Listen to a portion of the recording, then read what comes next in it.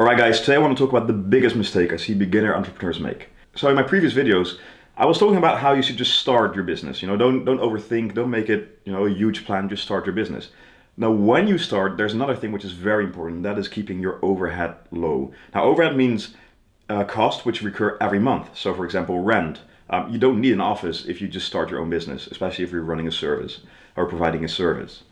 Um, for example, a lot of cities will probably have um, projects where you, as a starting entrepreneur, you can sign up you'll get very cheap rent. Um, but that's only if you need an office. I started in my house. Uh, we're actually now in my parents' house. And I remember when I was growing up, they were working upstairs here um, because they knew that they could save cost.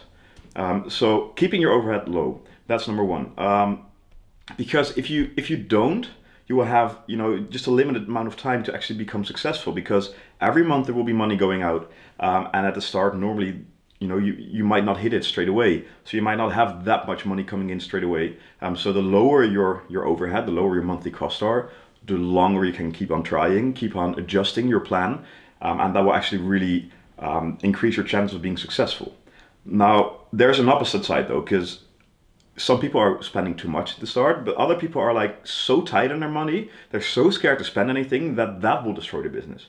Because you do need to invest in the right things.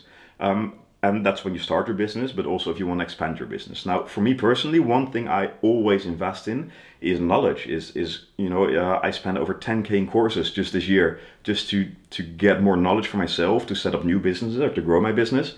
Um, so that that's one of the things. The other thing is even if you're working at your house uh, you're gonna have to find like a good place to work. Um, so make sure you get a good desk, a good a good monitor. Um, like my business partner Iman actually made me buy um, a huge monitor for my house.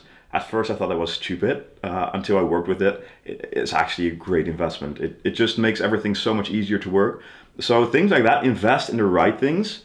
Um, get some coaching from someone who's like very knowledgeable in your field because in so in a couple of hours and in, for a couple hundred euros you can probably learn um, more than what you would actually learn in months and months of trying and maybe even failing your business. Um, you know, your good setup, invest in that. But all the rest, like as long as you don't need an employee, don't get one. As long as you don't need an office, you know, work from your house or work from even a coffee shop if that works for you.